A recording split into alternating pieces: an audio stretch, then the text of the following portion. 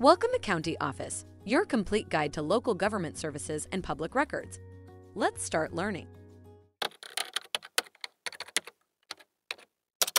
Can police search a minor? Yes, police can search a minor, but the rules differ from those for adults.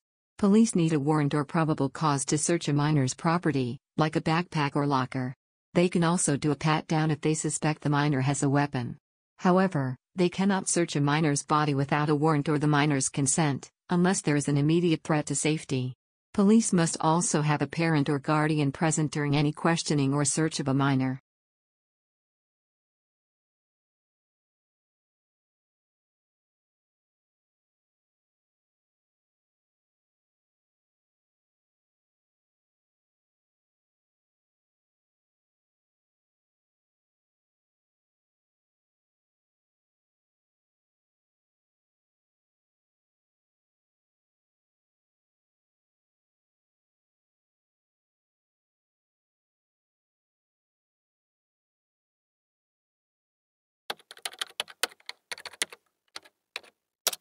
To learn more, check out these links which you can click in the description below, and feel free to comment your questions, we're here to help. Thanks for watching our video.